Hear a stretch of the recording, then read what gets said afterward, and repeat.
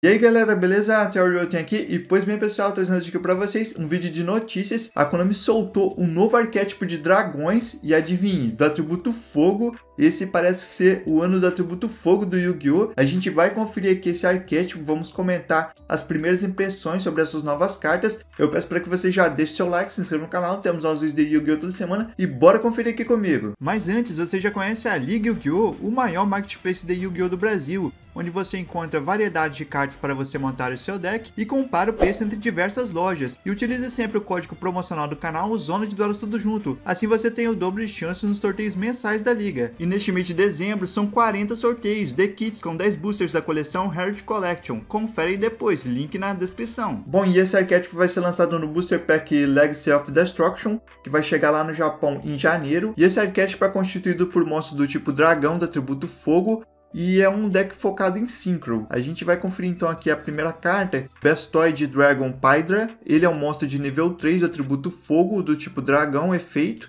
Ele tem 1700 de ataque, 1000 de defesa.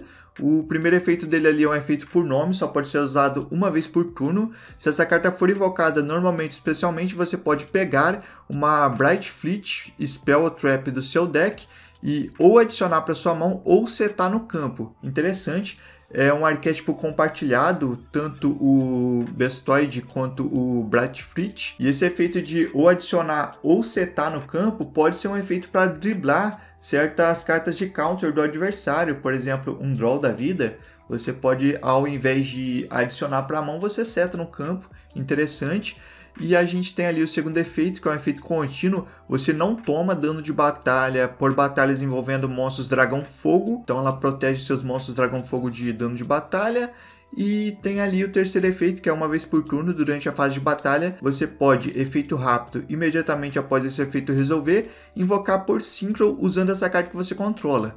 Esse arquétipo, pelo que eu entendi lendo previamente ele, ele é bem focado na fase de batalha. Ele tem vários efeitos que você utiliza na fase de batalha. A intenção é você partir para a fase de batalha e fazer as coisas todas lá, tanto invocar os síncros quanto ativar certos efeitos.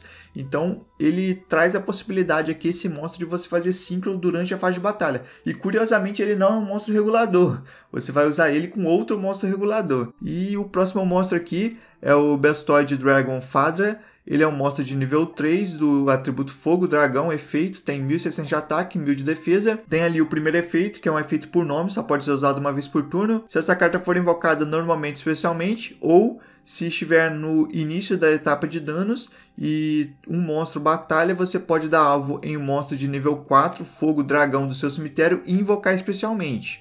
Esse daqui é aquele monstro que puxa outro então você invoca ele, puxa um monstro de nível 4 ou menos Dragão Fogo do seu cemitério, ou também pode usar no início da etapa de danos, ou seja, outro efeito que ativa na fase de batalha. Tem ali o efeito contínuo dele, que é, monstros fogo dragão não podem ser destruídos por batalha. Então, enquanto um protege por dano, esse daqui protege por destruição por batalha.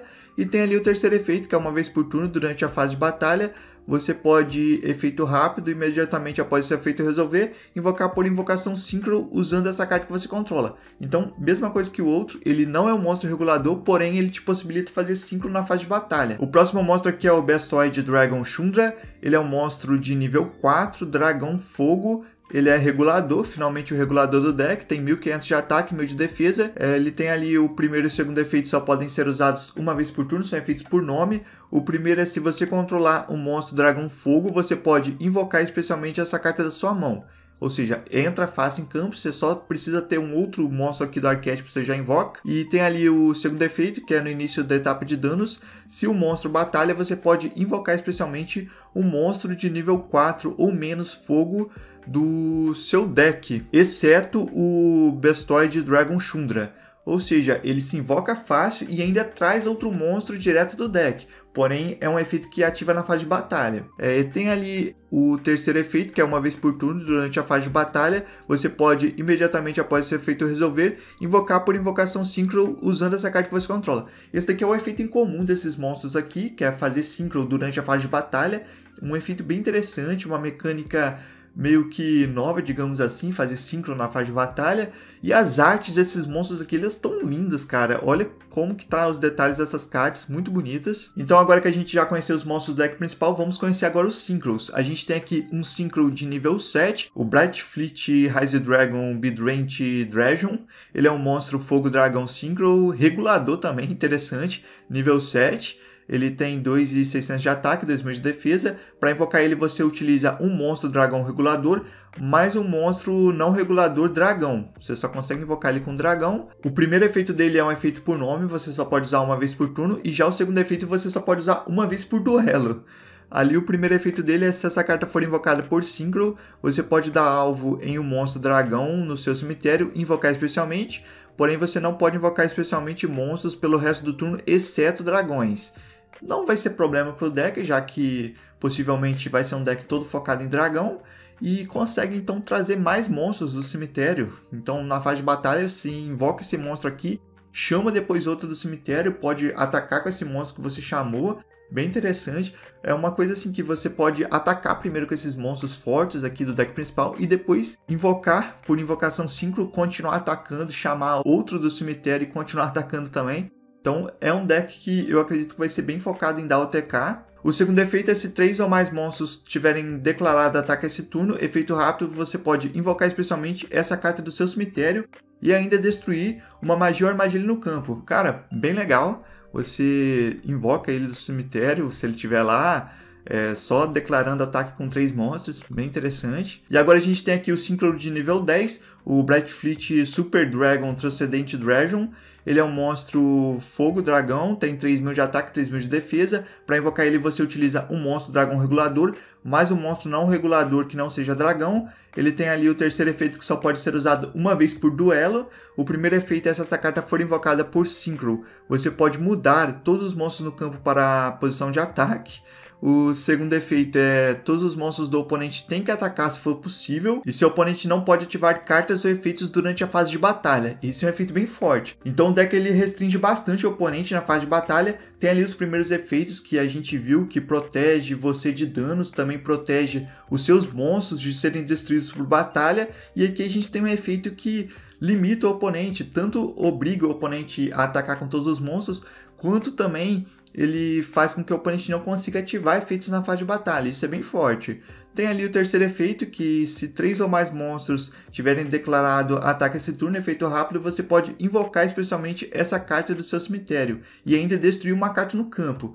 É um efeito melhorado do Synchro anterior, que pode destruir qualquer carta em campo quando ele entra. E agora indo aqui para as cartas mágicas, a gente tem aqui um campo mágico, o Overflow em Bright Fleet Manor. Ela tem ali o segundo efeito que só pode ser usado uma vez por turno, é feito por nome. O primeiro é monstros fogo que você controla são inafetados por efeitos ativados do oponente durante a fase principal 1, ou seja, ele é basicamente, ou seja, ele é basicamente um Miscellaneosaurus como campo mágico, pode jogar livremente durante a fase principal 1 e depois conseguir ir para a fase de batalha com segurança, isso é interessante. Tem ali o segundo efeito, que é durante a fase principal você pode adicionar um Bestoid Dragon monstro do seu deck para mão e descartar uma carta. E ela tem ali o terceiro efeito, que se essa carta for destruída durante a fase de batalha, você pode dar alvo em um monstro dragão síncro que você controla e tornar o ataque desse monstro dobrado. Cara, é muito interessante isso. A gente tem um combo então envolvendo aqui tantos monstros síncros que quando entram eles podem destruir. O primeiro ali, o nível 7, destrói uma magia ou armadilha. E já o monstro de nível 10, você pode destruir uma carta qualquer. Ou seja, você pode muito bem destruir sua própria carta, seu próprio campo mágico, dobrar o ataque desse monstro, que já vai ser o suficiente para você finalizar o oponente. E o efeito de busca dela já gera um combo também entre os monstros do deck principal, já que você pode adicionar um Bestoid do seu deck para mão, descartar uma carta e geralmente você vai poder usar o efeito do Fadra, que é aquele que, quando é invocado, invoca outro do cemitério. Então, o monstro que você descartou, possivelmente, você chama para campo, já vai ter dois monstros ali. E por fim, a gente tem aqui a Bright Fleet Opening, que é uma mágica de jogo rápido. Ela tem ali um efeito que você pode usar uma vez por turno, é feito por nome. Se essa carta for ativada fora da fase de batalha, você pode aplicar um dos seguintes efeitos. Porém, se ela for ativada durante a fase de batalha, você pode ativar os efeitos em sequência. Ali ela tem o primeiro efeito, que é você adicionar um monstro de nível 4 ou menor dragão fogo do seu deck para mão, ou seja, outra carta buscadora a gente tem aqui. O deck tem muito poder de busca e muito poder de invocação também. E tem ali o segundo efeito que é invocar especialmente um dragão fogo da sua mão. Ou seja, se você usar essa carta na fase de batalha, além de você adicionar, você vai poder invocar também um dragão fogo direto da sua mão. Basicamente invocar do deck, podemos dizer assim. Então, cara, uma carta muito forte que com certeza vai rodar três cópias nesse deck. O campo mágico também é um campo que a gente vai querer rodar bastante. Eu acho que dá para rodar três também no deck. E os monstros do deck principal são monstros bem fortes, eles combam bastante entre si.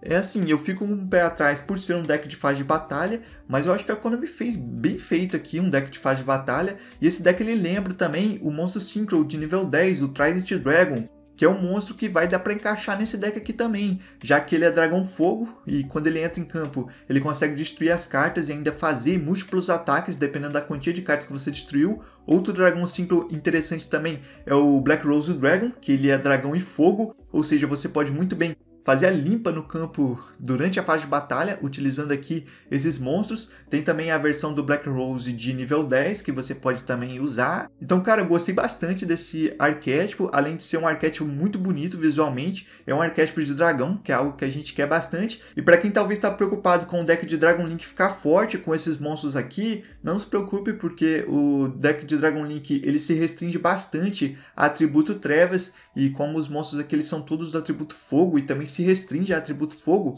não vai ter problema nenhum, eles não vão conseguir jogar entre si. E outra carta que eu não posso esquecer de citar é o Blaster dos Dragon Rulers, que no momento do TCG ele está limitado a uma cópia, porém eu acredito que futuramente a Konami possa colocar ele a três cópias, o que pode dar uma ajuda aí pro deck, a gente vai ter um poder de destruição e de invocação também, porque finalmente a gente vai ter um deck para encaixar o Blaster de forma bem efetiva. Porém, seria melhor se os reguladores do deck fossem os monstros de nível 3, porque aí a gente teria o nível 7 do Blaster, mais o regulador nível 3 já faria o Synchro de nível 10, porém o regulador é o nível 4, então não vai ter uma interação tão legal assim, talvez trazer um monstro de nível 11, não sei se teria muitas opções ali, mas enfim, esse é o arquétipo. Comentem o que vocês acharam aí. Não esqueça de deixar o seu like, se inscrever no canal. Temos novos vídeos de Yu-Gi-Oh! toda semana. E é isso, eu vou ficando por aqui. Até a próxima aí.